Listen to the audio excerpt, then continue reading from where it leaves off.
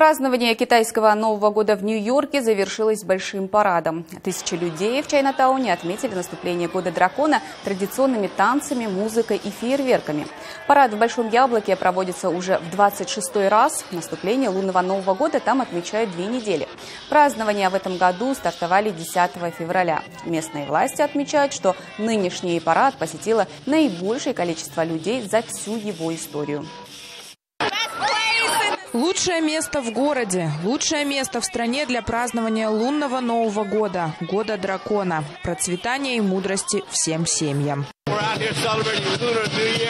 Толпа невероятная, явка больше, чем за последние годы. Чайнатаун прекрасно отметил наступление года дракона.